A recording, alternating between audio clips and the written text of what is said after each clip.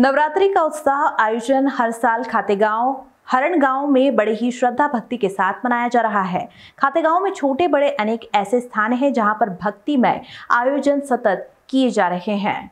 मदयालु मंदिर, JP colony, Ajnas road Trimurti colony, JP colony Jawahar चोट चौपाटी, शहीद अमृता देवी चौराहा, डाक बंगला मैदान, गायत्री मंदिर, प्राचीन शीतला माता मंदिर, खेड़ापति समिति, पुलिस थाना परिसर, दुर्गा मंदिर, बाल उत्सव चमन चौक समिति, सलावट बाबा सहित नगर के देवस्थान दाना बाबा पर भी भक्ति, श्रद्धा, आस्था के साथ नवरात्रि पर्व का आयोजन चल रहा है। इसी प्रकार दादाजी धूनी वाले दरबार श्यामला हिल्स भोपाल पर भी नवरात्र उत्सव का दिव्य मंगल आयोजन हो रहा है, जहाँ साधक संत दादा भाई के सानिध्य में प्रतिवर्ष अनुसार इस वर्ष भी शत चंडी महायज्ञ का आयोजन किया जा रहा है।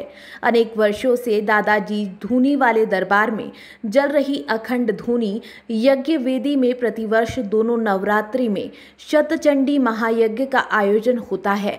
साधक संत दादा भाई बताते हैं कि शतचंडी महायज्ञ में आहुति डालने पर मन की सभी मनोकामनाएँ पूर्ण होती है। कई पीढ़ियों से दादाजी दरबार में चंडी यज्ञ का आयोजन जारी है। मानव को यज्ञ हवन में शामिल होकर अपना जीवन धन्य बनाना चाहिए। जिस प्रकार हम मानव मात्र का कल्याण चाहते हैं जगत कल्याण के लिए शतचंडी यज्ञ किया जाता है। इस यज्ञ की बड़े ही निराली महिमा है। यज्ञ में बैठकर आहुति देने वाले बड़े ही भाग्यशाली होते हैं। इस कलयुग में यज्ञ हवन का बड़ा महत्व है। प्रभु की सेवा, दीन दुखी की सेवा, यज्ञ नारायण का आयोजन उत्तम फल प्रदान करता है।